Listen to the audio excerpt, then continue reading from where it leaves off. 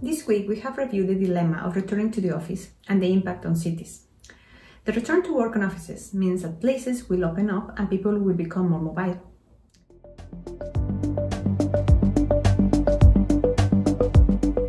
In June 2020, 88% of employees who had worked at home during lockdown reported that they would like to continue working at home in some capacity.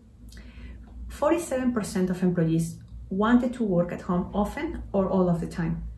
Home working is positively associated with qualifications. The proportion of graduates reporting that they worked exclusively at home rose from 8% before lockdown to 62.4% in the first month of the lockdown.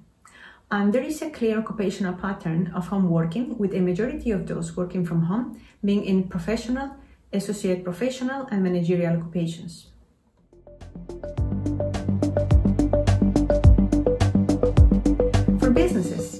Working can reduce costs and potentially increase productivity. But there are also the corporate risks of bringing people back into an environment which may end in illness and quarantine thereby reducing the workforce and bringing risk of litigations.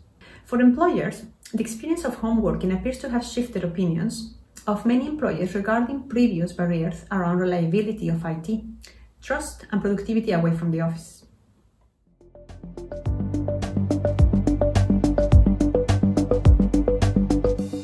Low-paid service workers have no choice but to return, even though for many occupations they are at high risk.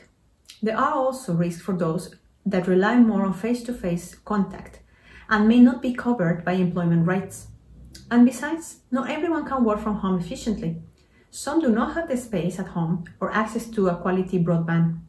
For some, this will lead to greater socioeconomic inequalities. So if this summary is of interest to you, do go on to our website and read more about these issues and what we can do about them.